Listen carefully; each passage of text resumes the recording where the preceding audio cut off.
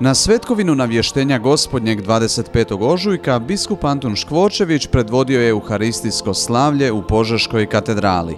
Uvodeći u misno slavlje, biskup je kazao kako je svetkovina blagovijesti povezana s izazovnim Božim projektom u kojem je Sin Božiji postao čovjekom i na taj se način sjedinio sa svakim od nas, a našoj sudbini dao božansku dimenziju – Podsjećajući na ratno stanje u Ukrajini, biskup je upoznao vjernike s pozivom pape Franje da zajedno s njim povjere prečistom srcu Marijinu cijelo čovječanstvo, osobito Rusiju i Ukrajinu, a potom je džakon Karlo Topalović pročitao spomenuto papino pismo.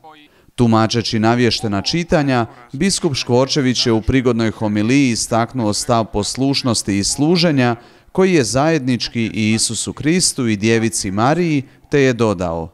Papa Franjo pozvao nas je, kao što smo već rekli, da danas povjerimo ne bilo kojoj, nego poslušnoj djevici Mariji našu zabrinutost i tugu, muku zbog rata u Ukrajini, nevolju smrtnog stradanja i bijega iz vlastiti domova velikog broja ljudi, razaranja materijalnih dobara.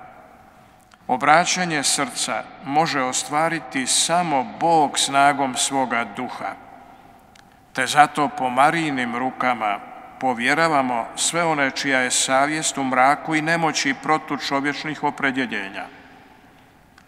Poslušnost Božim nakanama, onama u Isu Kristu put je koji vodi sigurnom miru, jer veli apostol, on, on je mir.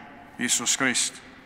Nadalje, požeški biskup je, podsjećajući na učenje drugog Vatikanskog sabora, protumačio Marijinu pomoćničku i posredničku ulogu, te je na kraju zaključio.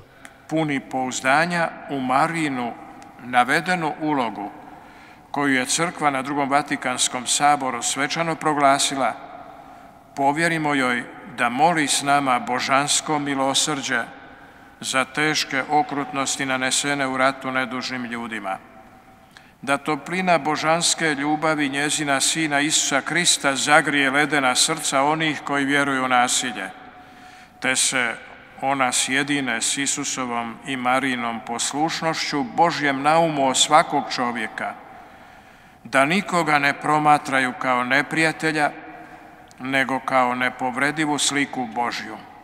Na koncu svete mise biskup Antun je molitvom pape Franje pred gospinim likom povjerio čovječanstvo, a osobito Rusiju i Ukrajinu, njezinu bezgrešnom srcu. Pozvao je okupljene vjernike na ustrajnu molitvu za ratne stradalnike u Ukrajini i za izbjeglice iz te zemlje, osobito one koji su stigli u Hrvatsku, te je potaknuo nazočne da im nastoje pružiti gostoprimstvo i potrebnu pomoć.